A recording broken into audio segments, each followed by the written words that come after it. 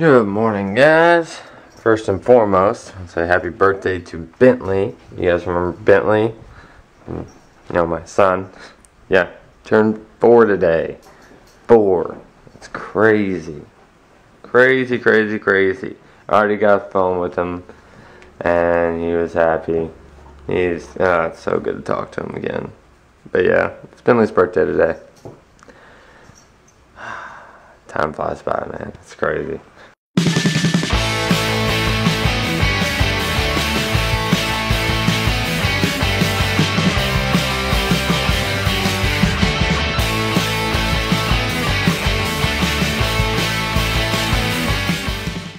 Well, it's rainy and crappy outside, so I really don't know how well we'll be able to go and check out the creek and stuff. Maybe it'll stop by the time we get there. Kind of hoping it does, but That creek's to be flooded regardless, so I doubt we'll find anything, but we'll at least try to head down there and check it out a little bit.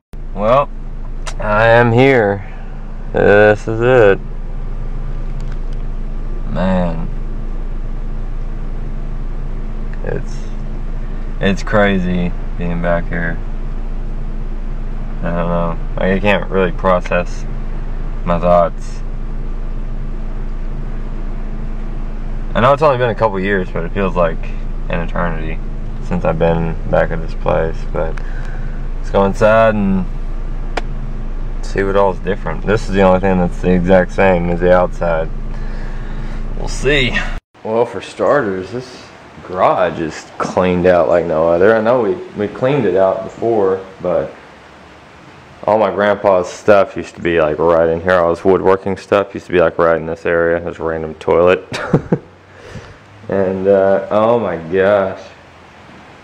This push mower gave me fits. One of the two. I think it was this one. Yeah, it was this one. Because we had a riding lawnmower. And whenever it broke down, my grandpa would make me have to take that mower and mow all this with that little push mower. And then I had to go over here to the backyard and mow all that, which uh, was a delight. Alright, now Dad said the key was somewhere in here. Is it? Oh, there's multiple keys. Front door. I don't know what that is. I guess if it worked for the front door, it worked for this door. Hopefully they didn't put in like a security system or something to where this whole thing starts going crazy whenever I just try to get in here. I gotta try to get these back up. Is the thing to there's no thing to put it. I don't know what to do. Oh, okay, I found it. Never mind, we got it, guys. Okay, we'll give this a shot. Alright, let's get inside here. Holy crap. This was the living room, um, kitchen area, which it looks a whole lot smaller now. They put down like linoleum or something. I don't know. They took up all the carpet in both these rooms. And this was all carpet. That was all carpet. They ripped up the carpet everywhere. Wow. This is the, uh, wow. The other living room, and then this was the dining room area, which you know, used to be my grandparents' bedroom. Of course, you guys remember all this from the older vlogs from like 2012, but holy crap. Oh, man. Wow. Wow. This is just. It's so weird with it. It looks, feels so much smaller than what it used to be. Oh my goodness. And my old room where the vlog started. Wow. Wow. Oh, there's the neighbor's house. I mean, my mind's blown right now. See what dad's room looks like.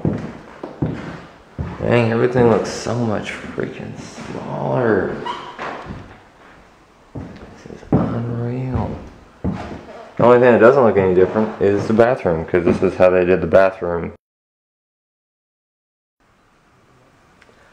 So, y'all remember how I was talking about how I need to have an extra battery on me since the camera died the last time? Yeah, I didn't do that today, and the camera died as I was filming that clip that you just saw. And I didn't have battery on me. Not at all. So I'm gonna go and I'm gonna take one of my extra batteries and I'm putting it somewhere in the truck so it's always on me.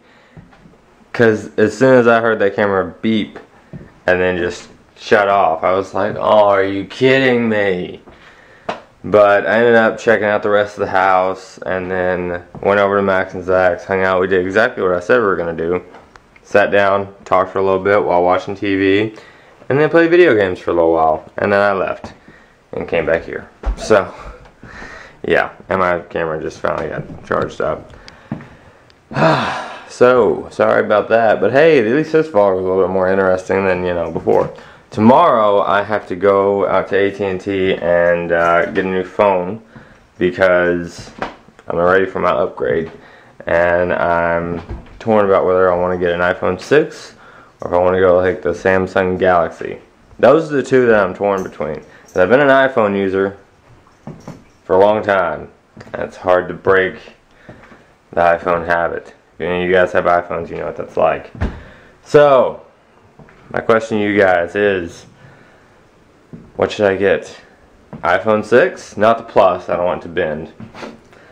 iPhone 6 or the Galaxy, I'd go with the Galaxy S5 Active.